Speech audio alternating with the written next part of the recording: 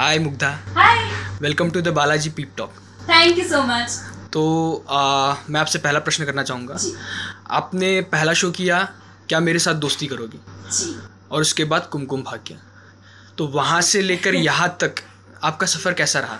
मेरा सफ़र बहुत मज़ेदार रहा। बचपन में मैंने पहला शो किया था जब मैं स्कूल में थी शायद मुझसे दोस्ती करोगे अ, मेरा शो था। अ, उसके बाद अ, मैंने बहुत सारे शोज़ किए और मेरा दसवां शो है Kumkum Bhagya. So it's been a wonderful journey okay और वैसे इस सेट पे माहौल कैसा रहता है? आप बहुत ही हँसी खुशी का माहौल रहता है। अगर आप आएँगे सेट पे आपको दिखेगा कि आधा टाइम तो हम हँसते रहते हैं। हम हँसी मज़ाक करते रहते हैं।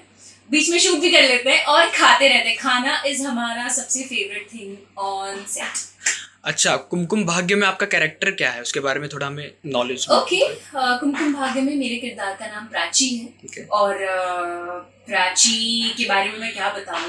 मैं पर्सनली प्राची से बहुत प्यार करती हूँ क्योंकि प्राची मेरे लिए बहुत बहुत बहुत बहुत इम्पोर्टेंट है।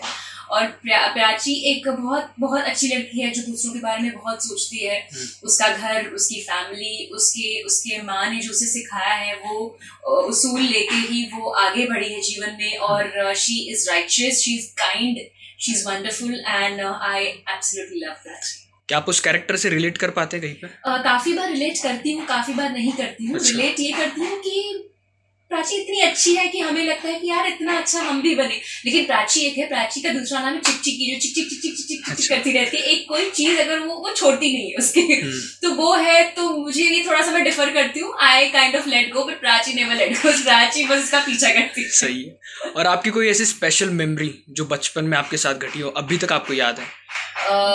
किस बारे में मतलब? अच्छी जो। ऐसे तो बहुत मेमोरीज है किस बारे में? कोई एक पर्टिकुलर जो हमेशा याद रहती है। बहुत ही ट्रिकी क्वेश्चन है इसका जवाब मैं ब्लैंक हो जाती हूँ। कुछ तो कुछ भी बताओ।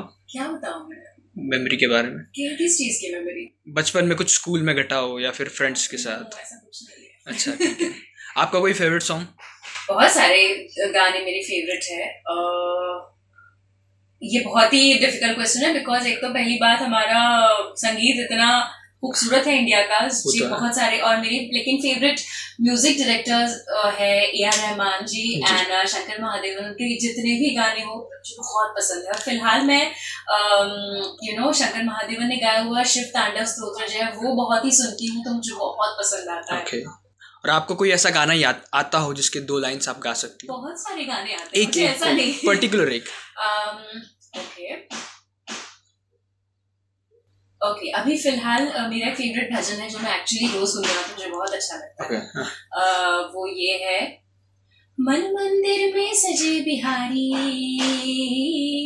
मनमोहन तेरी छवि अति प्यारी मन मंदिर में सजे बिहारी मनमोहन तेरी छवि अति प्यारी बंसी बजैया रास रचैया तारण हार मेरे तुम ही केवैया तुमसे बड़ा यहाँ कौन कन्हैया?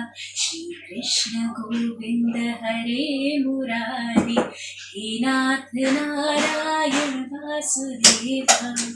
ये मुझे बहुत पसंद है। सही में आपकी आवाज़ में बहुत नजाकत है। एक्चुअली बचपन से मैंने मैंने जो शुरुआत की थी वो शास्त्रीय संगीत से ही की थी। मैं कंटिन्यू नहीं कर पाई पढ़ाई की वजह से एंड यू नो बाद में शूट का सिलसिला शुरू हुआ but I started with classical singing but कहीं ना कहीं वो रह गया है। वो एक है जो आप कह रहे थे ना कोई मेमोरी मेमोरी से ज़्यादा मैं कहूँगी एक बात है जो मुझे करना है you know I want to pursue singing to start again okay okay, सही है। आपका सुर का नॉलेज आपके एक्टिंग में दिखता है और माशाल्लाह बहुत अच्छा काम कर रही है। सो हमें वक्त देने के लिए बहुत बहुत धन्यवाद थैंक यू सो मच ऐसे आते रहिए हम बहुत सारी बातें करते हैं ठीक है।